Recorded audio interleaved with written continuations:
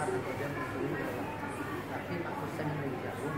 Jadi kalau itu